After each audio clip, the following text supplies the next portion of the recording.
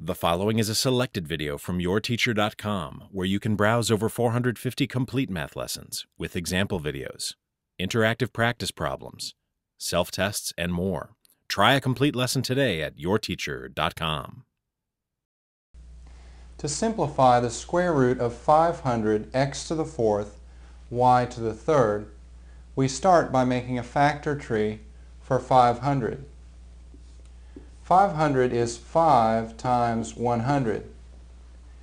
And you should be able to recognize 100 as a perfect square. 10 times 10.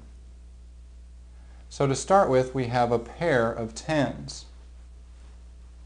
Think of x to the fourth as x times x times x times x. So we have two pairs of x's.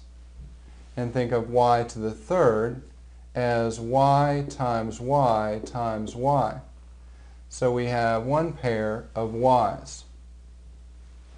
So a 10, an x, another x, and a y can all come out of the radical.